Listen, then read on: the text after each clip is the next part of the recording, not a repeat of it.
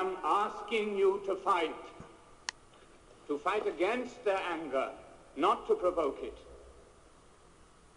We will not strike a blow, but we will receive them, and through our pain, we will make them see their injustice, and it will hurt, as all fighting hurts.